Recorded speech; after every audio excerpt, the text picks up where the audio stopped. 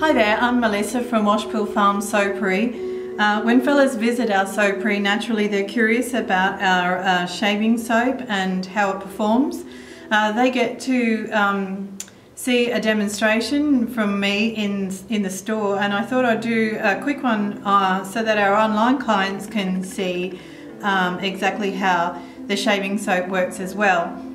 So um, you do need to bear in mind that um, I'm not a shaving male, so if I do anything that um, disturbs you in terms of technique, I am sorry about that.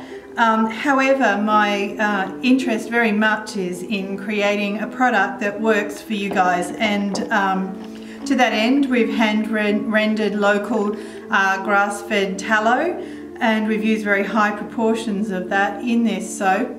It is um, low in scent because uh, we've had feedback in the past um, that men who've used our regular soap bars on their face have had some um, sensitivity to the essential oil. So we've kept the scent quite low. Um, we don't aim to compete with other shaving soaps and creams and commercial products um, out and about. We don't um, hope to smell like cool water or Davidoff or anything else like that. What we're aiming for is a fantastic shaving product that produces a foam that's long lasting.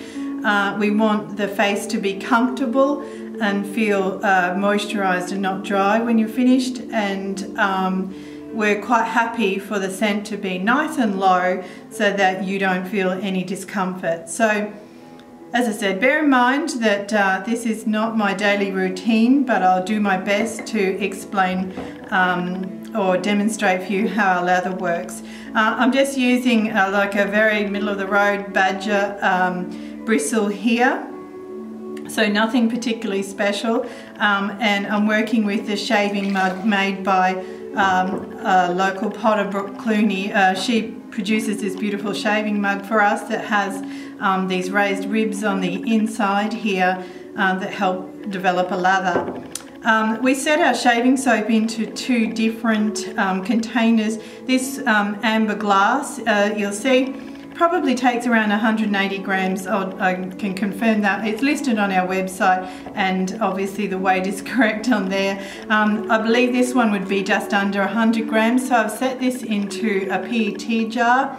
It's very hardy, it's a food grade jar. Um, quite suitable for travel and lightweight and also a nice fit for the brush as well. So they're the two options um, in terms of uh, containers. Okay, so I'm just going to get a little water on my brush here. Um, I might go with I might go with the PET jar. I know it's a nice fit, so and I also think it's possibly better for you to see uh, what's going on. So um, as you can see, the brush loads up very quickly. Uh, we've designed our formula to be roughly halfway between a solid and a liquid. So the purpose of that is to create um, a type of soap that is easily soluble. So that's what we're going for there. Now if you were a face um, latherer, you could go straight to your face now with this lather. I'm sure that there's enough loaded on there that you could go right ahead and put that onto your face. Um, if you're a bowl latherer, then you just take that loaded brush and work up your lather in your bowl. Okay, even um, at this stage you can see that we have developed a beautiful uh, tight creamy lather there. Um, there is no big bubbles at all. It is just nice tight um, stable lather. We know from experience that if we sit this for uh, many minutes. I've been called away during demonstrations. I can sit this for many minutes and it will hold its lather without um, the bubbles decreasing or, or bursting. So that gives you a bit of an idea how our shaving soap performs using our shaving bowl and as I said a very middle of the road badger um, hair brush. So thank you very much for watching.